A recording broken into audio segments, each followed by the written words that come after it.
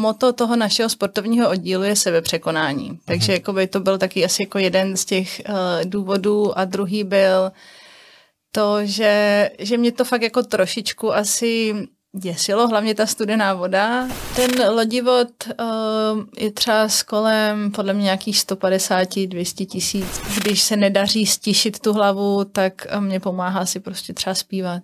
Přátelé, ahoj, tady Dan Tržil a další díl podcastu Proti proudu. Mým dnešním hostem je Abhejjali Bernardová. Pokud Abhejjali neznáte, tak je to opravdu výjimečná česká sportovkyně.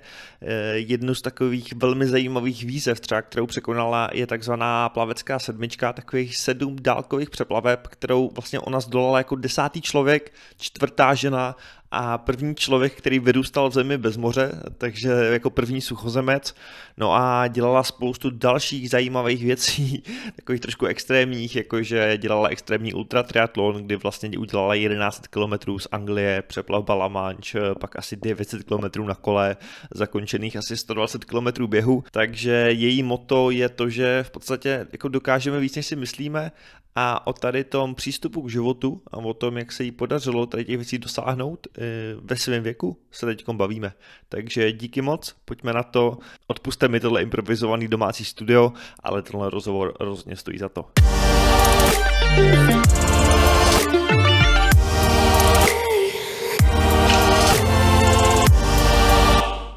Tak vážení diváci a posluchači podcastu Proti proudu, já v dalším díle vítám Abedžali Bernardovou. Ahoj. Ahoj, Dane.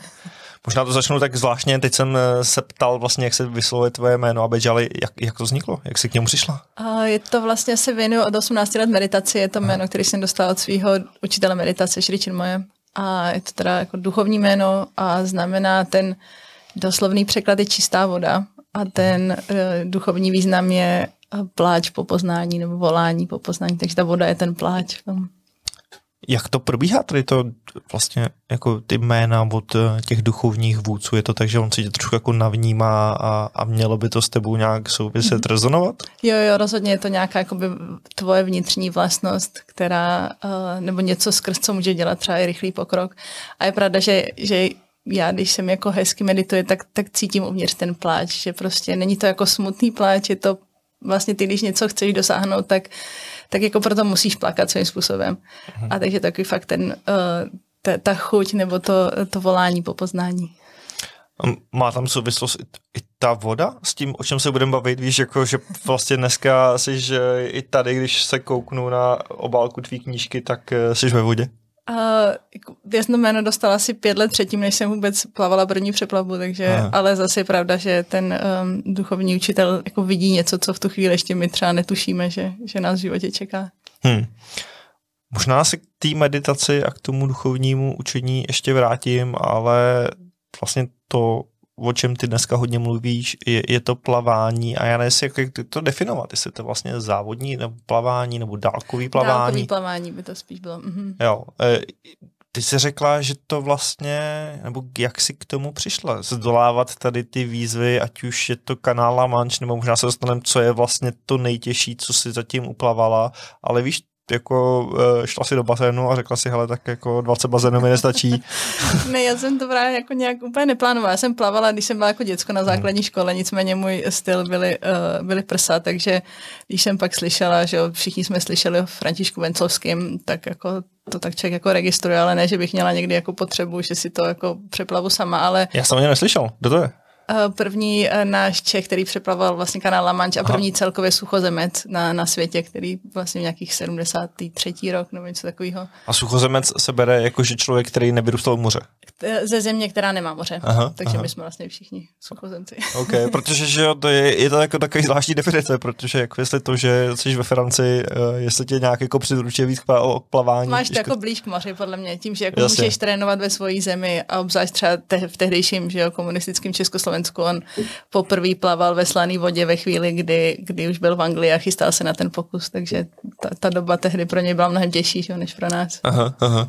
OK. A ty jsi teda o něm slyšela, jako viděla jsi, že tady ty pokusy nebo tady ty mm, možná extrémní výkony existují, ale nedáhlo tě to ještě tenkrát? Ne, to jsem byla fakt jako děcko a až teprve, když jsem uh, právě teda zase je to ve spojení s tou meditací, protože um, vlastně tak jako všichni víme, že ve zdravém těle zdravý duch, ale většinou prostě pak to úplně neaplikujeme ve svém každodenním životě. Musíš pro to dělat nějakou práci pak většinou. Přesně, a to už se nám pak nechce a máme Aha. pocit, že máme spoustu jako důležitějších věcí. Nicméně jako by uh, Šričin s tou meditací právě jako doporučoval, že těžko se ti bude dobře meditovat, když tě bude bolet hlava nebo břicho, takže nějak se jako k tomu hýbat. Takže já jsem začala jako běhat tak jako velice lehce. Můj první běh byl asi tak pět minut, eh, ale prostě vyběhla jsem. A potom právě některý členové toho oddílu, jehož jsem členkou širšího maraton týmu, tak uh, přeplavali Lamač, ale pořád to bylo takový jako jo super, tak jako někdo si to přeplaval, ale potom teda kamarádka měla inspiraci se do toho vrhnout jako sama, já jsem jí měla pomáhat na lodi, ale uh, z té solo přeplavby se stala štafetová přeplavba, já už jsem měla že dovolenou, letenky, všechno, takže jsem se tak jak jako stala členkou té štafety a tím jsem už měla pocit, že jako super, že už jsem teda ten lamanč jako přeplavala v té štafetě a nechtěla jsem to plavat solo, protože ta voda je studená, mm. ale za dva roky jsem tam teda stála uh, sama a dívala jsem se jako směrem k Francii a vrhala jsem se do vody. Vysvětli mi možná svět lidí, kteří tohle dělají, protože předpokládám, že už to není tak, že by se, na, že by se tím jako dali vydělávat velký peníze, je to spíš asi, je to taková jako hecovačka? Já bych asi neřekla hecovačka, nebo uh, možná se může někdo vsadit, jako mm. že to přeplave, ale pro mě to spíš bylo fakt jako uh, zkusit něco, co mě na první dobrou jako děsí, ale zároveň zároveň jsem si nechtěla jako říct, že uh, až prostě budu někde v důchodu, tak si říct, jako co kdybych to bývala tehdy zkusila. Rozhodně se tím peníze nevydělají, peníze se tím krásně utratí, protože vlastně musíš, to není tak, že stojíš na tom břehu a sama, sama si jako doplaveš uh, do Francie, máš uh, vlastně loď vedle sebe a lodivoda a mhm. to stojí spoustu peněz.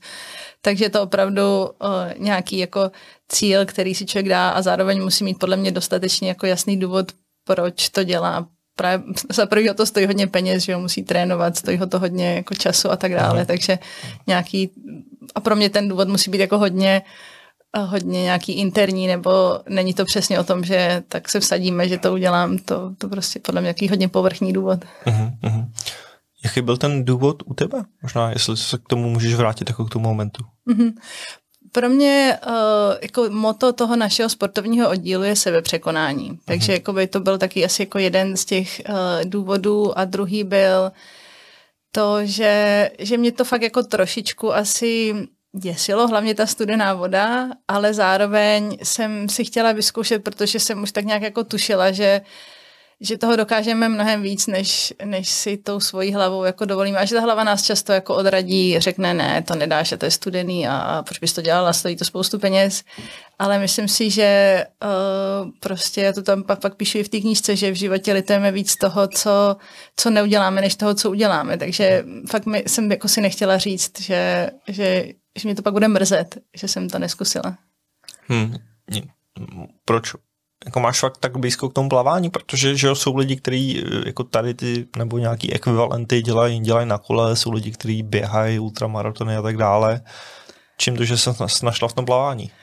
Já jsem teda začala jako s, s tím během, protože Aha. to je něco jako snažšího, že jo, prostě si vyjdeš z domu, nemusíš mít skoro nic na sobě, takže jsem běhala jako maratony a mám za sebou nějaký šestidenní závod.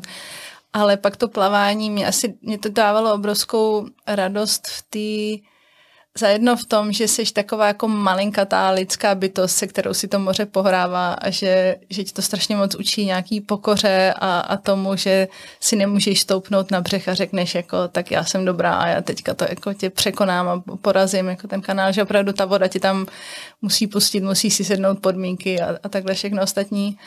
A uh, prostě v tom obrovská zároveň svoboda, prostě kolem tebe je tak jako široko daleko nic, ty seš tam v té vodní říši a, a je to prostě nádhera. je to nádhera až pak v ten moment, kdy jako vylezeš a je to takový to, jo, tak eh, dala jsem to, nebo přežila jsem, nebo já nevím, jaký pocity se člověku honí v hlavě, víš, protože jako ten samotný akt toho překonávání těch hranic a, a plavání ve studené vodě a, a, a já se teď ještě jako bojím toho neznáma pod sebou trávy vodě, to předpokládám, že, že ty a vy už asi nemáte, ale jako to asi není úplně jako takový to potěšení.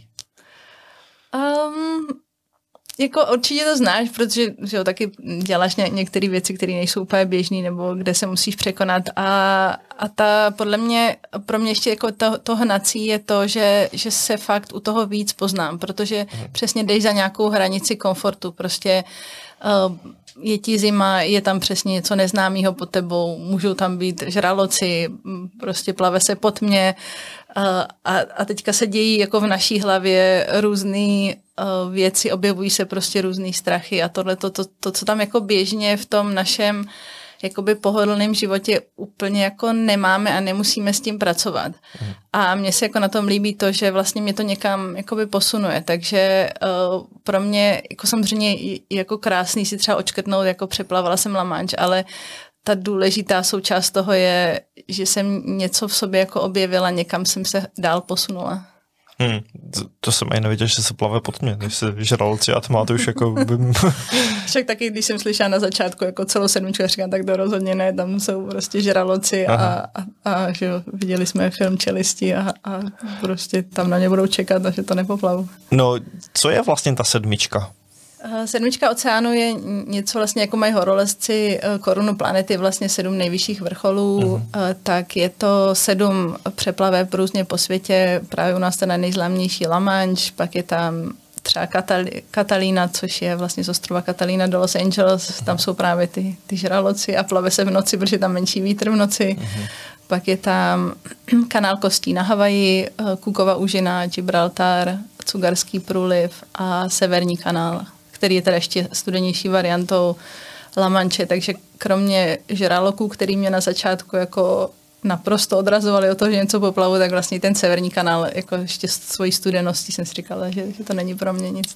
A je tam je to Kapský město? To je, tento tam není. To je vlastně, to jsem uh, plavala takovou kratší přeplavbu z Robben Island, teda, kde vlastně byl vězněn Mandela do Kapského města a to vlastně mě přesvědčilo se do té sedmičky pustit, protože to bylo tak extrémně ledový a já jsem to nějakým jako způsobem přežila, tu přeplavbu, že jsem si říkala, že možná je mi tak nějak jako naznačováno, že se nemám bát toho, toho studeného. Hmm, když se tady bavíme extrémně ledový severní kanál, Kapský město, co to je, ať si to lidi představí? Kolik je stupňů třeba? Uh, je to, já jsem to konkrétně měla 9 až 11 stupňů. Uh-huh. A třeba když uh, je taková zima jako relativně teďka, tak třeba Vltava má nějakých 6 stupňů, jo, nebo uh-huh. kolem 7 stupňů, takže je to fakt jako prostě. Okay. A ten La Manche má běžně kolik třeba? La Manche má kolem 15, 18, jo. když je to později v sezóně. Aha, aha. Takže to fakt jako, no a ten severní kanál má nějakých 13, takže ta, eh, ten, to Kapské město bylo 7,5 kilometru, takže relativně krátká přeplavba, ale prostě tam už fakt každý ten stupeň je rozdíl, takže hmm. Uh, to bylo takový, jako že teda to zkusím. Hmm. A ta nejdelší předplavba z toho, co jsi dělala na vzdálenost? Uh, byl ten uh, kanál Kostí na Havaji 42 km, což je teda že běžně maraton, to, co člověk běhá a ještě tam že tam ty havajské ostrovy jsou prostě takový jako malinkatý relativně tečky uprostřed uh, rozlehlého tichého oceánu, Aha. takže jsou tam obrovské vlny, takže mi to trvalo jako různý protiproudy. Tady jsme že v podcastu protiproudu. Já jako běžně ráda dělám věci proti proudu, ale plavat proti proudu není úplně. 42 km si asi dovedu představit, no, že chceš spíš proud, proud dozad. Ano, ano, přesně tak. A tam to, ty proudy si tak se mnou jako zkoušeli to se mnou různě. Hmm. Já vím, že ty si tu sedmičku dala a teď mě možná opravíš jako desátý člověk na světě? Desátý člověk na světě, správně. Aha, to, to je docela obdivuhodný. Jak dlouho se na to člověk musí připravovat, víš? Nebo je to takový, že vlastně jako to, že to plaveš jedno po druhém, tak se vlastně připravuješ na ty další. Rozhodně to tak jako je, i no. třeba s, s během a tak, že, že to tělo má jako schopnost si pamatovat, takže pro mě fakt jako asi nejtěžší trénink byl na na ten první lamanč, kdy prostě člověk jako vůbec testuje, co vydrží, co jíst, jak se uh, chovat s mořskou nemocí a tak. A pak už to tak jako se postupně připravovalo, jenom člověk přidával buď to vzdálenost nebo otužilost a tak podobně. Mm-hmm. No ale když si jako máš to fakt tak, že uh, musíš chodit denně plavat, víš, nebo jako trénovat jako ty závodní plavci, nebo tady ta vytrvalost se vlastně trénuje trošku jinak? Um, já, já to vždycky beru tak, že ten trénink má nějaký tři nebo čtyři úrovně. Jedna je uh, ta vytrvalost, kterou na jednu stranu prostě vím, že mám prostě přesně už tím, že jsem uběhla prostě šestidenní závod a tak jsem viděla, že vydržím. Druhá věc je, což jsem jako nevěděla, jestli vydržím, tak to je ta otužilost, kdy vlastně ty máš na sobě jenom plavky, čepičku, brýličky Neopren. Žádný, žádný neopren. Aha, to jsem neviděl, já jsem myslel, že jako aspoň tlustý neopren. ne, ne, ne, takže my, si, my, my si pak pěstujeme, tomu říkáme bioprena, což je vlastně jako tvůj extra tělesný tuk, který si tam jako um, tvoří zásoby. A k tomu jako nějaká rychlost, protože přesně tam jsou nějaký proudy, takže ti lodi může říct teďka hodinu sprintuj. Takže pak v bazéně jako by jsem plavala ty rychlosti a e, chodili jsme na přehrady, prostě podle toho, jak byla která dostatečně studená, tak jsme třeba o víkendu jezdili plavat na přehrady.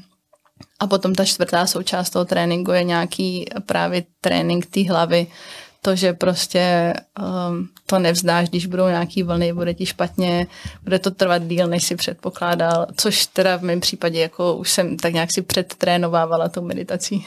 Hmm. Myslíš si, že ta meditace je, víš, jako trošku hledám ty paralely, jestli ten tvůj úspěch tady v těch sportovních výkonech jako jde ruku v ruce s nějakou tu tvojí meditační praxí.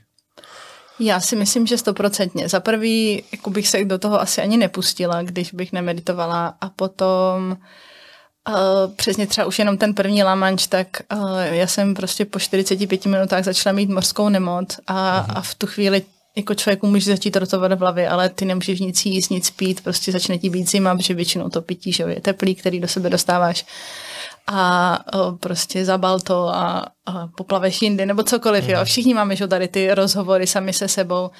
A e, dokonce vlastně i ten den, co já jsem plavala, tak nás vyplavalo asi 13 jako lodí a plavců a doplavali jsme, myslím, že čtyři.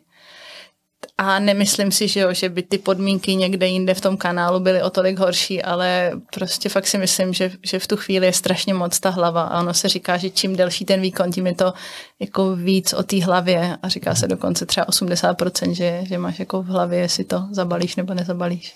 Hmm, mě vždycky přijde jako vlastně neuvěřitelný, když, když já nevím, jdu já někam na výlet nebo horskou túru a už mám pocit, jako, že nemůžu a pak si vždycky vzpomenu na ty výkony tebe nebo dalších lidí a říkám, ale ty lidi běží še, šest dní v kuse, tak asi ještě můžu. ne, ale mě to, jako mě to přesně pomáhá, jako třeba můj nejsnažší maraton uh, byl, já jsem pomáhala jedné kamarádce, která běžela to byl vlastně jako Wards Island naproti Manhattanu a ona mm. běžela závod na tisíc mil, tam jako na jednom milovém okruhu, takže ona běhala tam tisíckrát dokola a já jsem pak na tom stejném okruhu běžela maraton, což je 26 mil, takže 26krát a pro mě to bylo tak strašně snadný, protože jsem si říkala, ty jako 26 koleček, jako ona běhala tisíc, to zvládneš. Takže to je strašně moc přesně jako o tom, jak si to v hlavě nastavíme, jestli si to vytvoříme jako nedosažitelnou nějakou metu, anebo jestli řekneme, jakože prostě postupnýma krokama tam dojdeme. Hmm. Mě docela překvapuje, že u tady těch vytrvalostních sportů často to dělají i lidi, kteří jako takovou tou běžnou optikou už by ve sportovní nějaký kariéře by byli považováni jako za starý. E, jo, je to... Hmm bez toho bych tě chtěl nějak urazit. no tak jako nejsem úplně, Jo, jo, ale víš, jestli vlastně ta vytrvalost, jestli u, tý, u těch vytrvalostních věcí to nehraje takovou roli, nebo jak to... Já si myslím, že rozhodně to nehraje přesně, že jako ztrácíme nějaký ty rychlý svalový vlákna, ale uh-huh. ty, ty vytrvalostní nám jako zůstávají. A, a myslím si, že přesně už máš pak i silnější tu hlavu z těch zkušeností, které máš. Uh-huh. Plánuješ ty ještě nějaký takovýhle, víš, jakože jako v 60 dělat takovéhle šílenosti? Eh, třeba rekord eh, na Lamanči, nevím Aha. teďka, kolik je eh, ženy, ale nejstarší muž je, myslím, myslím že bylo 74 let, takže uh-huh. jako... Dá se to? Dá se to, je to podle mě těžší, uh-huh. jako sama jsem pozorovala, jsem vlastně loni ještě šla ten Lamanč znovu, pak jsem si k tomu přidala kolo a běh a rozhodně už jsem vnímala, že, že jako s nějakýma hormonálníma změnama a tak to tělo třeba trošku hůř reaguje na tu studenou vodu, uh-huh. takže podle mě jakože tím, jak jako uh, stárneme, tak uh, to tělo má zase jako nějaký jiný výzvy, ale myslím si, že, že že je dobrý se nezastavovat. Jako ne, že bych se nutně chystala plavat La Manche v 75, to, to prostě nedokážu teďka říct, ale uh, jako nechci nějak moc zpomalovat, dokud jako mě to nedonutí úplně. Hmm, hmm. Přece jenom La Manche v 75, to je dobrý výkon. Jako já furt vlastně přemýšlím, pokud to člověk jako udělal jednou, tak chápu, že si tak jako očkrtne, že to tak, nebo máš to tak, že některé ty výkony i zopakuješ, nebo je to v tom v úvozovkách dosahování met a pak dál už vlastně splněno, znovu už to dělat nepotřebuji. Uh, asi to nemám právě a tím pádem jsem i, i v loni si dala ten lamanč po druhý a, a jako jsou věci, které mě lákají, jsou věci, třeba Katalína byla tak nádherná, že bych si ji klidně jako uh, dala znovu. Na druhou stranu, jako máme tady tolik tolik vody na, na, na země kouli, že se toho dá plavat strašně moc. Takže i to vždycky nějak musí oslovit ty výzvy, musí mi to dát jako vnitřně smysl, že to není něco jako bez hlavy, jenom právě, že se jako ženu za nějakou fajfkou, kterou si tam dám, ale, ale uh, musí mi to dávat smysl. Hmm. Mě trošku přivádíš na to, víš, říkáš, že od 18 let medituješ, eh, absolvoval asi spoustu tady těch v fuzovkách, možná jako meditací na steroidech, eh, někde uprostřed oceánu a tak dále. Je tam ještě pro tebe co objevovat? Víš, protože a teď jako možná se ptám jako laik a člověk, který k meditaci si stále moc cestu nenašel. Vlastně jsem nedávno měl konverzaci s člověkem, který mi řekl, že do toho byl 20 let hrozně blázen, ale teď od toho trošku opouští, protože vlastně, jasně, tak našel všechny ty barvy toho života a všechno možný a vlastně trošku jako tam přestal mít co dál zkoumat nebo co dál hledat. Mm-hmm. Nevím, jestli k tomu nemůžeš jako vlastně říct, jak to máš ty? Jo, jo, ne, já, já pořád, um, jako mi to dává smysl, dává mi smysl, meditu vlastně ráno, večer a je to nějaký, um, když bych to převedla do nějaký jako běžný řeči, tak jako si ráno prostě vezmeš peněženku, když jdeš domů, nebo v dnešní době prostě kreditní kartu nebo telefon, tak stejně tak vlastně pro mě ta meditace je, že, že tak nějak si vemu nějaký, nebo nahlídnu do toho vnitřního bohatství, prostě a jako doplním tam ten klid a tu radost a to ticho a nějaký, nějakou tu kotvu pevnou a potom vlastně, když se dějou různé věci a prostě dnešní svět, já mám pocit taký bláznivý, tak mhm. v tu chvíli tě jako nesemele každá jako špatná zpráva máš v sobě nějaký, prostě fakt nějakou tu, tu kotvu, ke který se můžeš vrátit, eh, když potřebuješ, tak jako prostě, když máš hlad, tak si něco koupíš těma penězma, tak když uh, prostě ti, ti, ti něco rozhodí, nebo prostě šéf tě seřve, cokoliv, tak uh, vlastně se jako neobrátíš tu stejn, tou stejnou kartou, ale máš v sobě něco jako pevného a dokážeš z toho čerpat. Uh-huh. OK, tak, takže prostě už tak něco jako takový denní návyk cítí se třeba jinak, když si nezamedituješ? Je to rozdíl a je to třeba rozdíl i v tom někdy fakt během dne tě něco jako rozhodí a mě strašně pomůže i jenom jako na minutku prostě se nějak jako soustředit dovnitř, protože uh, jako jsou věci, že jo, který v tom životě můžeš změnit, jsou věci, které jako neovlivníš, a jako dívat se na to z toho jako nadhledu toho, toho svého vnitřního klidu mně přijde strašně fajn a strašně potřebný. Uh-huh. A je to o tom dokázat to rozlišit pak tady ty věci, co ulidíš, co neulidíš, nebo víš, pomáhá to k tomu, protože já s tím hrozně souhlasím a myslím si, že jako pro spoustu lidí není přirozený tady ty věci rozlišovat. Že? A nějak eh, jako ovládat tu reakci na to, jestli teda je to něco, mm-hmm. co můžeš ovlivnit, nebo jestli je to něco, co vlastně ovlivnit nemůžeš a ta tvoje reakce, ať jakákoliv, tak je vlastně trošičku jako k ničemu. Mm-hmm. Jo, jo. Já si myslím, že to eh, pomáhá i v tom, že ty se že ta meditace je taková chvíle na, na to, že se zastavíš. Jo? My jinak se prostě eh, ženeme jako z jednoho, z jedné schůzky na druhou, prostě z jednoho projektu chceme toho stihnout strašně moc a to, že ty vlastně z toho na chvíli vypadneš, z toho uh, jako proudu, kterým tě ten život jako vláčí a zastavíš se a ujasníš si, jako jestli to vůbec je ten směr, kterým chceš, chceš jít, anebo jestli prostě opravdu tě ty okolnosti někam vedou, tak já si myslím, že to, že to je obrovská pomoc a že přesně jako že nestačí si zameditovat jednou za týden, prostě, že mám pocit, že to jako potřebuju, prostě tady to uvnitřnění jako pravidelně. Uh-huh, uh-huh. Co jsou nějaký ty věci, který, který si vlastně chtěla, aby se lidi odnesli z té knížky? Uh, jedna, za prvý si myslím teda, že to fakt není plavecká knížka, ono Aha. se to podle obálky trošku tak tváří, ale že je to o tom, že si nemyslím, že jsem nějaká jako výjimečná, nejsem ani podle mě výjimečná sportovkyně, nic jako eh, čím bych někoho jiného převyšovala, ale myslím si, že jsem jako věnovala tu energii nějakému tomu hledání uvnitř sebe a hledání toho, eh, jako co bych měla dělat.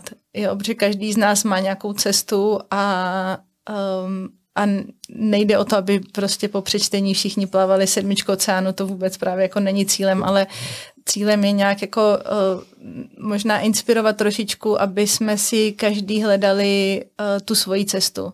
A že toho dokážeme jako strašně moc, že, že když dokážeme rozlišit to, co nám jako říká taková ta odrazující mysl právě, která říká, jo, nedělej to, prostě když chceš jít ráno běhat, nevstávej, prostě jako to nemá cenu a kdy je to opravdu, jako, že, že pokud něco chceme dělat, takže to, že to dokážeme, že prostě jenom musíme ten projekt dostatečně sytit, dát tomu důležitost a ať je ten projekt prostě jakýkoliv a vůbec to nemusí být plavání. Může to být vlastně, že jo, každý máme jeden velký projekt jménem život a pak máme spoustu jako projektů, který uh, když jsme moudří, tak nás jako vedou tím naším uh, životem k tomu, abychom jako směřovali tam, kam máme jít.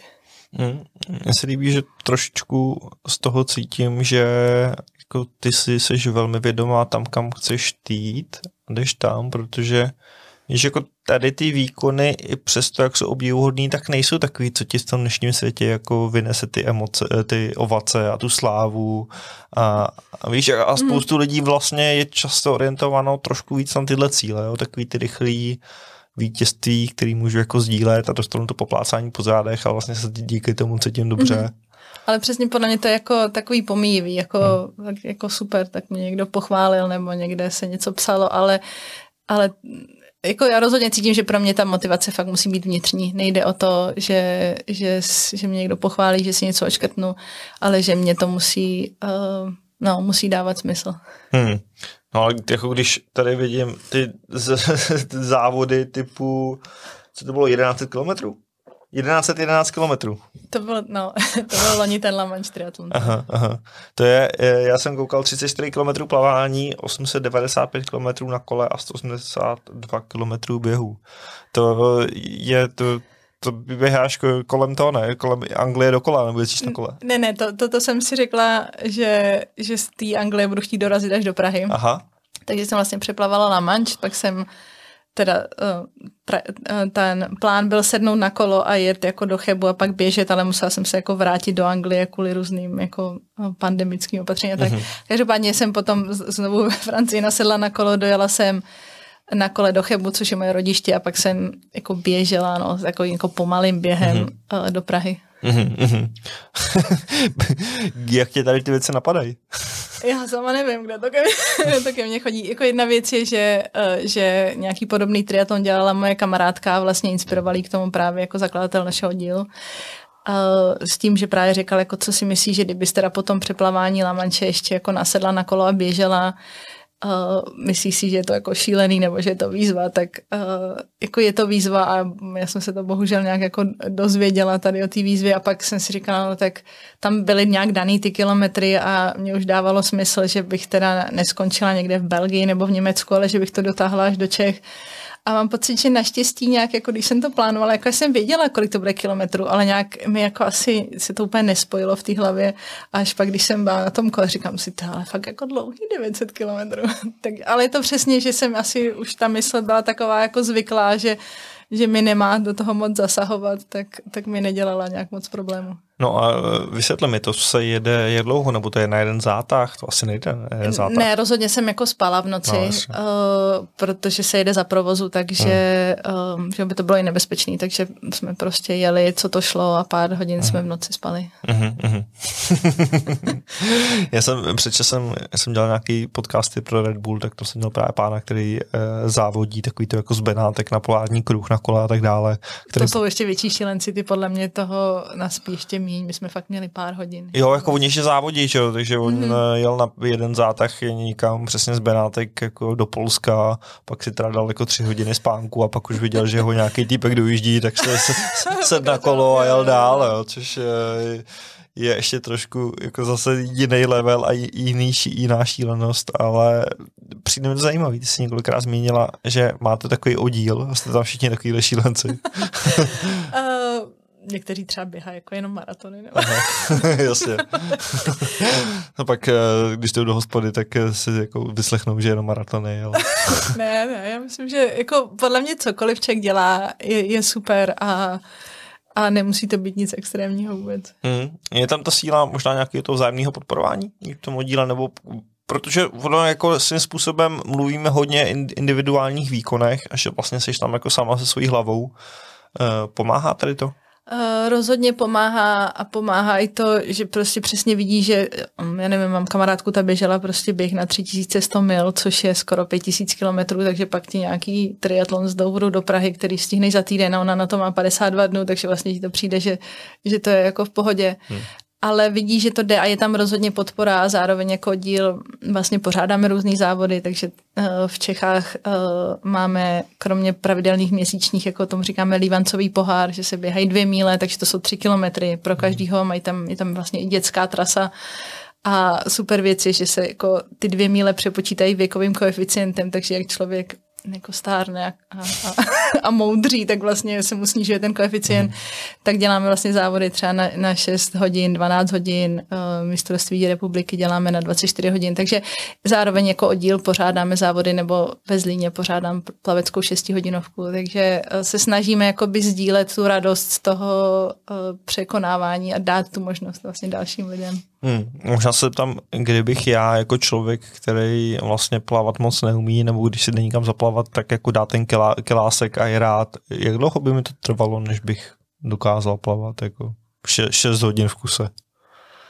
Já myslím, že zrovna 6 hodin jako v bazéně, v tom chráněném eh, prostředí by si dokázal jako relativně relativně brzy. Prostě by se přidaly nějaký jako delší tréninky nebo prostě eh, nějaký, pro mě vždycky byly důležitý tréninky, že jsem třeba v sobotu plavala 6 hodin, v neděli 6 hodin, tak prostě přidat ti nějaký jako dvě hodiny jeden den, dvě hodiny druhý den, aby si jako vlastně plaval s tou únavou to si zrovna 6 hodin mi přijde, že bys jako relativně rychle zvládl. Jo, takže musí se dostat na nějaký aspoň jako základní technický, technickou úroveň, kdy člověk je prostě schopný mm-hmm. jako mhm. plavat, že jo? protože já bych ani ten kilometr kraul neuplaval a předpokládám, že se plavá kraulem. Uh, můžeš plavat úplně jako jak jo. chceš, třeba Lamanč fakt někdo plaval i jako motýlkem, takže uh-huh. to jsou jako šílenci, ale kraul je prostě nejrychlejší, takže je to jakoby preferovaný styl čistě z toho praktického důvodu. Uh-huh, a je nejrychlejší jako opravdu, protože já jsem myslel, že když se vlastně plavou dobře prsa, že ten rozdíl není tak velký. Je to fakt pořád jo? rozdíl. Já jsem jako uh, dobrá prsařka, protože to fakt byl můj závodní mm-hmm. styl a kraulem plavu nějaký třeba 3,3 za hodinu a těma prsama maximálně 2,5, 2,6. Mm-hmm. Takže je to prostě a na té přeplavbě, kde právě máš nějaký okno, kdy jsou prostě dobrý proudy a nefouká vítr, tak je to, fakt ti to udělá klidně na Lamanči podle mě 6-8 hodin jako navíc. Hmm. A to už. Jak dlouho se plaveš Lamanč? Tak ten rekord nejrychlejší je nějakých uh, 6 hodin, mm. nejpomalejší je 28, takže cokoliv jakoby mezi. Jo, jo. uh, já jsem to nějaký za nějakých 14 hodin. Aha, 14 hodin. Super. Na mě, mě vlastně přijde zajímavý, že jako nedávno jsem vlastně slyšel, znáš Tima Ferise, on jako hodně propagoval takový ten styl plavání, který je trošku neortodoxní, je to nějaká technika, jako kde jsi vlastně jako víc potopený a on mm-hmm. jako tvrdí, že že to, jak plave jako Michael Phelps, je dobrý pro závodní plavce, ale mm. lidi, kteří se třeba v pokročilém věku učí plavat, že jsou jako jednodušší, efektivnější způsoby, jak plavat. Mm. Uh, takže mě vlastně, vlastně tohle jako vždycky zajímalo, jak to je, protože prostě jako myslím že vlastně většina lidí jako neumí plavat, že? nebo jako umí plavat, ale přesně to jako hodinu plavat v kuse už je pro spoustu lidí docela mm. velký výkon. Ne, je to rozhodně hodně o technice a já to tak nějak jako přirovnávám k tomu, že když prostě bychom jako nějak divně chodili, tak prostě třeba spadneš, ale ta voda tě jako drží, takže ty vlastně tam můžeš mít jako jakkoliv nedobrý styl uh-huh. a mhm. prostě uh, jako nikam nespadneš, nic se ti jako nestane, jenom se tam prostě pak třeba žížalíš místo toho, aby si plaval dopředu, tak tu energii jako plítváš různýma jinýma směrama, ale je to podle mě úplně ve všem, jako ten styl je, je strašně důležitý, takže než poplavě 6 hodinovku, tak doporučuji nějaký kurz uh, mm-hmm. jako plavání. Mm, mm. Docela jsem koukal, že se to teď jako rozmohlo, nějaký různý skupinový mm, individuální jsou, jsou, a jsou rozhodně jako, je to podle mě dobrý, stejně tak jako mě by třeba pomohlo, kdybych šla na nějaký kurz ještě běhání, protože Aha. můj uh, běžecký styl je takový dálkoplazecký. I po, eh, teď koukám, kolik, eh, po 182 kilometrech myslíš, že máš co zlepšovat? Ne, rozhodně. Podle mě bych se jako dokázala posunout uh, i rychlostně, kdybych jako ten, ten styl zlepšila, ale pak je to přesně jako uh, je tolik věcí, kterými můžeme v životě dělat a je otázka prostě čemu dáme víc energie, to potom roste a, a co je pro nás důležitý. Dokud můžu jako běhat i tím svým jako stylem, tak mi to asi úplně ne, nebo No, hmm. tak hmm. jsem spokojená. No, ty jsi říkal, že máme těch věcí spoustu, uh, jestli se nepletu, tak ty k tomu všemu normálně vlastně pracuješ. Mm-hmm. Jak, jak se to daří tady ty dva světy kombinovat? Uh, tak já žiju ve Zlíně a tam je to jako, je to takový malo město, dalo by se říct rozhodně v porovnání s Prahou, takže se tam, jako já třeba běhám do práce nebo jedu na okolo do práce na kole, Uh, takže je to tam všechno jako blíž a dá se to takhle nějak spojit. A uh, potom moje teorie je, že, že když jako dělám co můžu v tom tréninku, prostě co mi dovolí časové možnosti v rámci těch jiných životních aktivit, který člověk má, tak uh, prostě pokud ten čas využívám jako dobře, takže tam je nějaká, uh, nějaká nevím co, energie, milost, která doplní, co bych případně jako nezvládla natrénovat, takže to je taková moje nějaká fakt teorie. Jo, ok, taková ta teorie, kterou si říkáš, když je, když je nejhůř. A jo, jo, jo. Prostě když třeba loni před tím triatlonem, já jsem fakt uh, prostě byly všechny možné jako komplikace, kterými to, jsem byla nemocná a a různě jsem měla nějaký zranění a tak a vůbec se nestihla natrénovat to, co jako bych chtěla, ale říkala jsem si, že prostě jako dala jsem tomu, co jsem mohla, víc, víc nemůžu, víc jsem jako nemohla a nemá cenu se jako být někde v Douvru, čekat na počasí a vyčítat si, že jsem jako málo natrénovala. Prostě co jsem dala, to jsem dala, s tím prostě musím jako pracovat a přesně jako nemá cenu se tím uh, trápit zbytečně, prostě bych si tím jako zatěžovala hlavu a nic k ničemu by mi to nepomohlo. Hmm. Máš nějaký svůj takovýhle častý jako inner talk, když, když fakt máš pocit, že nemůžeš? Jste jako zmínila, že to jako porovnávání s tím, že ta kamarádka jako udělala toho stokrát více jako jedna věc, ale víš, dá se, když se člověk dostane do situace, že má pocit, že už je na dně, jako kde, kde najít tu sílu ještě pak? Mě, já si myslím, že ta, nebo tak nějak i mám pocit, že vím, že ta síla tam jako ještě, ještě je. Často, kdy my si prostě myslíme, že není, tak tam ještě jako je jí spousta. A um, pro mě ten, ta první věc, co je, je jako dokázat jako vypnout tu hlavu, která si začne stěžovat. Prostě ta, ta, ta to jako zkouší a když uh, jako jí dokážu zastavit, tak opravdu ty energie tam je ještě hodně uh, kde jsem se dostala tak jako relativně na hranu, bylo na Havaji, kdy jsem fakt měla jako 12 hodin mořskou nemoc, eh, plavala jsem v noci, ještě to bylo tři dny po té, co jsme tam přijeli, plavali jsme fakt jako před tím termínem, takže jsem měla jako obrovský časový posun a když jako, že nemůžeš jíst, nemůžeš pít 12 hodin u toho jako plaveš, tak, tak jsi fakt jako na hraně. A v tu chvíli um, jako už tušíš, že ty zásoby jako opravdu regulérně, objektivně jako nějakým způsobem musí docházet. V tu chvíli tam teda máš jako nějaký ten tým, který na tebe dohlíží a jako pro mě bylo důležité jenom jako vydat ze sebe opravdu, co můžu, abych to nezabalila dřív, než, než je nutný. Zároveň jsem byla tak nějak jako už v jistou fázi smířená s tím, že to třeba znevíde, ale věděla jsem, že prostě když do toho dám všechno, že, že, že s tím jako nebudu nějak jako zklamaná nebo smutná, a uh, když se nedaří stišit tu hlavu, tak mě pomáhá si prostě třeba zpívat. Jo, že, že jako něčím přebít ty myšlenky v té hlavě, něčím jako pozitivním. Hmm. Uh, jak se přitom dá jíst nebo pít? Jak to trošku probíhá? Uh, ty se teda vlastně jako začínáš na, na, na břehu nebo uh. dotykem skály, když nemůžeš uh. vyjít na břeh a potom za celou tu přeplavu se nesmíš uh, jako dotknout nikoho, takže oni ti jako podají láhev nebo ti hodí láhev uh. s pití, mají ty přivázaný na nějakém provázku, ty šlapeš vodu nebo si lehneš na záda, napiješ se a zase plaveš dál. Hmm, že ti hodí, nevím, banán nebo něco. tam. no, většinou to je, banán jako je třeba rozmixovaný a naředěný vodu, aby se to uh-huh. dalo vypít, protože ty potřebuješ, aby to občerstvení probíhalo co nejrychleji, uh-huh. protože když si zastavíš, ty proudy tě můžou jako nést někam, kam nechceš, takže je to o tom jako co nejrychleji tohle to dokázat zvládnout. Hmm. A jak probíhá ta orientace, protože to na těch velkých vzdálenostech uh, předpokládám, že jako ještě pokud jsou vlny, tak po chvíli vlastně jako úplně nevíš, kam plaveš.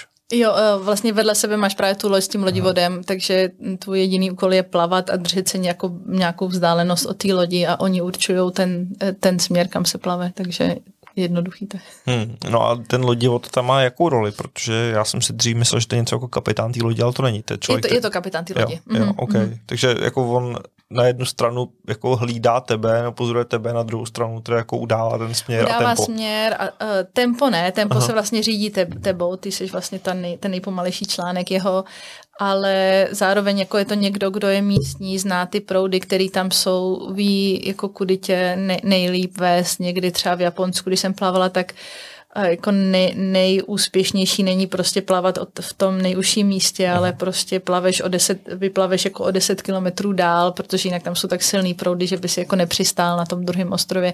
Takže jako zná ty, zná ty proudy, zná uh, ví, jako, jak se koukat na počasí, kdy tě vzít, kdy tě nevzít, takže to je jako taková jeho důležitá role. Hmm. A ty, když, nevím, jdeš do Japonska nebo na Havaj, tak eh, jakým způsobem tam jako najdeš tady tu posádku? Mě by zajímalo možná jako prakticky, kolik to stojí. Uh, ten lodivod uh, je třeba s kolem podle mě nějakých 150-200 tisíc, něco takového záleží jak jde a máš ho vlastně jako domluvenýho předem uh-huh. a na těch jakoby daných přeplavbách, které se plavou, tak jsou um, i založený plavecké asociace, který dohlíží na to, že potom právě jako nezávislý pozorovatel uh-huh. na té mhm. lodi, který vlastně dokumentuje, že, že ty jsi se nikde ne, ne, nesvezl na té lodi, Asi. že jsi jako dodržoval ty pravidla a prostě se domluvíš s tím lodivodem jako dopředu, takže to není tak, že přijdeš na místo a začneš. Jo, a to mě překvapuje, že se říká 150 200 tisíc, že jsem skoro myslel, že to jako když někdo má přesně nějakou lodičku a, a umí řídit, že to jako může dělat a vydělá si pár tisíc jako za den a, a, a jde domů. Proč to je tak drahý? tak uh, vlastně ty, ty lodivodi jsou tam a jsou k dispozici plavcům, ale jsou dny, kdy prostě se nedá plavat, protože hmm. je uh, blbý počasí, um, prostě jsou vlny a tak dále. A zároveň přesně jako nedá se plavat třeba v zimě, protože bys tam umrznul, takže je to nějaký jako, a je to zároveň jim platí za to jejich know-how, že mm. prostě ví, um, ví, co mají dělat. Mm, mm. A musí mít povolení ještě od pobřežních hlídek a tak podobně. Aha, aha. Stalo se někdy třeba, že by si potkal toho žraloka, jak jsme se o ní bavili? a když jsem plavala na Gibraltaru, tak jako v jednu chvíli pod sebou něco vidím a Aha a tak jako uh, plavu jako bez dýchání, abych se podívala, co to je, právě jestli to není žralok, protože důležitý je, jako cokoliv se děje, tak vlastně hlásit tý posádce na lodi, aby věděli, uh, jakýkoliv problém by člověk měl nebo tak. Ale byly to delfíni, takže, uh, takže pak říkali, jo, jo, všude jako kolem nás tady skáčou. A reálně jsem ho viděla jenom, když jsem trénovala na Bali, když jsem trénovala na tu přeplavbu na Havaji, což teda bylo zrovna super, protože fakt na Havaji ty žraloci uh, prostě jsou, že oni tam hmm jako víme o tom, že tam jsou. A člověk si jako studuje o těch žralocích, jako co dělat, co nedělat. Ale jako potom ho v reálu potkat je fakt jako jiný, takže když jsem jako byla mentálně připravená, co tak uh, prostě vidět ho v člověku zatrne a přitom to byly prostě nějaký dva, nevím, metra půl žáloci nebo metr, vůbec se mě nezajímala, ale, ale v člověku fakt jako zatrne, no.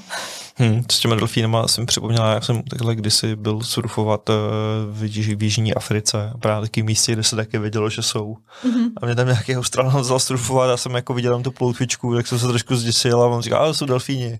A já jsem si vzpomněl, eh, jednou byl nějaký den příběh, jak, eh, že jo, eh, nebo tušně se to mluvilo, že, že delfíni zachránili nějaký člověk mm, jako mm, před žralokem, mm. tak najednou říká, že delfíni jsme jako v bezpečí, když tak, jo, jo, když tak, jo, když tak zaženou žraloky. No, jo, já to vždycky taky tak beru, že když tam jsou delfíni, že je to jako dobrý znamení a jsou to fakt takový strašně modří tvorové, takže je to, jako super. no a ještě jako nějaký velryby nebo takovéhle věci. Velryby byly na Havaji taky. Aha. To bylo fakt jako za ty ke, keporkaci, takže Aha. takový ty obrovský prostě, já nevím, desetitunový uh, zvířata a potom Uh, prostě i za mnou plavali nějaký velryby. Bohužel jsme neměli jako v tu chvíli nějaký dron, ale, ale podle mě jako ty tvorové se musí divit, co to tam je za nějakého divného plácajícího se no, jasně, že, no. tvora tam v jejich, v jejich domově. Mm, já si říkám, jestli ty žraloci by myslíš, že by jako zalučili, protože, nebo stalo, stalo se to někdy, víš, protože jako chápu nějakých jako lidí, kteří harpunujou nebo tak, ale vlastně jako ten jeden plavec. Jako nikdy nikoho při přeplavbě nezabili, Aha. vím, že se někde objevil uh, žralok, um, já něm taky tam píšu v té knižce, jako The Cookie Cutter Shark uh-huh. a u nás to je jako takový nudný název doutníkový, ale jsem uh, mu začala říkat jako žralok vykrajovátko, on takhle se k tobě přicucne a otočí se a jako vycucne prostě tí kus, teda ne člověku, tomu primárně ne, ale třeba té velrybě právě. Aha. Tak to Už se prostě stalo, vykousne kus masa. Vykousne kus masa, Aha. no. Ale, takže to se pak stalo právě na Havaji, ale až po té, co já jsem plavala, ale jako těch, um, prostě těch případů celkově, jako je tak strašně málo, že jenom fakt je to náš nějaký strach z toho neznámého a něčeho, co jako nevidíme pod No, sebou, jasně. ale třeba na Havaji oni fakt říkali, že ty žraloci tam jako jsou uh, na dvou přeplavách přede mnou, je i viděli a jako ten můj lodivod se prostě divil, jako že, že je nevidíme, ale podle mě prostě jenom ta hladina byla tak jako zvlněná, že, že se jako nedali vidět, ale uh, jsou tam a prostě bydlí tam a já jsem tam na návštěvě a vždycky jako doufám, že, že mě tam nechají proplavat. Je pravda, že vidíš, že jo, pak eh, já se vždycky právě jako zase snažím, ty říkáš, že jako je důležitý vypnout tu hlavu, ale to na těch žraloků si jako hla- hlavou si vždycky snažím říkat, hele, tak jako ta přesně Mhm. mm-hmm. větší pravděpodobnost je, že člověka udeří blesk než ten žralok, Přesně, takže takže... blesk, nebo tady, že tě sejme nějaký auto, takže no, je to prostě něco, že víme, že ty auta tady jsou a víme, že se jim máme vyhnout, ale uh, prostě v tom oceánu je nevidíme a fakt je to, podle mě to strach z, jako z neznámého něčeho. Mhm, mhm. To, to, jsem rád, že teda v tom nejsem sám, tady v tom strachu, strachu z neznámých. Já jsem si právě v Jižní Africe říkal, říkám, ale tak přece jako tady kvůli té minimální šanci si nenechám ujít ty zážitky jako v té vodě. Přesně, přesně. ale, ale, ale jo, no, pak když to vidíš, eh, samozřejmě. A to jako bylo zajímavé, já jsem, já jsem třeba tam vlastně viděl jako ty velký bílý a, a to bylo vlastně v městečku, kde normálně se lidi koupali a nikdy tam nebyl žádný útok, mm-hmm. protože tam byl dva kilometry od pobřeží prostě ostrov Tuleňů. Jo, jo. No, a vlastně jako stačilo jim přijet k tomu ostrovu Tuleňů a, a hned tam jako čtyři Mhm. Great White eh, kroužily, Jo, jo. ale vlastně Měli jako, tam dost potravy. Jo, měli tam Tuleňů dost, takže jako proč by chodili na lidi, no. Mhm, Takže to bylo super. Jo, jo. Eh, no, možná mi ještě řekni, jako napsat tu knížku, co pro tebe bylo nejtěžší. Ty s tím máš nějaké zkušenosti, předpokládám, protože jako děláš ve vydavatelství, takže možná ten proces eh, si měl trošku zmáklej, nebo vůbec? Tak jako proces, jak, jak se vydává knížka, jo, ale že bych uh, psala knížku, to úplně ne a, a vlastně, když uh, mi to z nakladatelství nabídli, tak um, jako sice mi nabídli možnost dělat jako rozhovor s nějakým novinářem, ale já jsem měla pocit, že, že ne, že to chci zkusit sama a je to podle mě jako se vším, jakože když se vydáme na tu cestu, tak mám pocit, že ta cesta se nám nějak jako ukáže a že se to jako naučíme, ale že často Uh, pro mě by taky bylo mnohem jednodušší říct, tak jo, uděláme rozhovor, ale přesně podle mě jako to um, jako zkoušet ty věci a učit se věci, um, samozřejmě čtenáři pak musí sami jako posoudit, jestli se mi to povedlo, povedlo nebo ne, ale um, jako dávalo mi to radost a fakt jsem se jako během toho procesu podle mě nějak jako si u, ujasnila, co a jak a co tam chci mít, jak to tam chci poskládat a, a zapadlo to do sebe, no. Super. A musí to být zajímavý vlastně všechny ty tvoje zážitky a to, co se ti odehrává v hlavě, najednou si zvědomovat a dávat to na ten papír. Bylo to rozhodně zajímavé si to jako znovu zpětně prožít a jakoby, že když fakt o tom píšeš, tak se úplně vcítíš do toho, že že seš eh, na té Havaji a že prostě je ti špatně a máš pomalu jako slano v puse a jako dokázat to nějak předat do slov nebo i vlastně přesně to, co se člověku honilo v hlavě, eh, co to pro něj znamenalo, tak jako bylo to, byl to rozhodně zajímavý proces. Hmm, hmm. Se ještě líbilo, jak jsi říkala, že vlastně potřeba se vydat jako na tu cestu a pak, že člověk jako najde ten způsob, jak to udělat, že se mi to líbí a vlastně to taky často lidem tvrdím nebo snažím se předat, že jo, že on jako vymyslel to z toho gauče, jako tu mm-hmm. svou životní cestu nebo vizi je hrozně těžký a, Mhm. a, a lidi mám pocit, že jsou často hrozně fixovaný jako na ten konec nebo kam by to mělo výst, který se samozřejmě vymyslet nedá, protože je hrozně Mhm, daleko, mhm. ale, ale často, že jo, prostě jako je to o tom prvním kroku a a při nejhorším zjistí, že ten první krok Přesně. byl trošku jako jinám a že ten druhý krok musí být trošku někam jinam. Mm-hmm. Přesně, ne, to jako rozhodně to je o tom. A, a když, když my dáme tu energii tomu, tak, tak ona se nám pak začne vracet a jako opravdu jako ukazovat se nám ta cesta. Takže mě to jako strašně baví a, a přesně, když se mě pak někdo ptá, co dalšího, tak říkám, jako nevím, jako jdu nějakou cestou a uvidíme, co, co přinese. Důležité je přesně směřovat jako tím směrem k nějakému tomu cíli, který jako tušíme, že tam máme a, a přibližovat se k němu. Super. A Mitchell, děkuji moc za tenhle rozhovor. Doufám, že jsme pár lidem třeba trošku jako ukázali eh, nebo dali odvahu jako udělat ten krůček a ukázali, že je možný víc, než si myslí. Myslím si, že jsi skvělý příklad eh, člověka, který to ukazuje. Takže díky.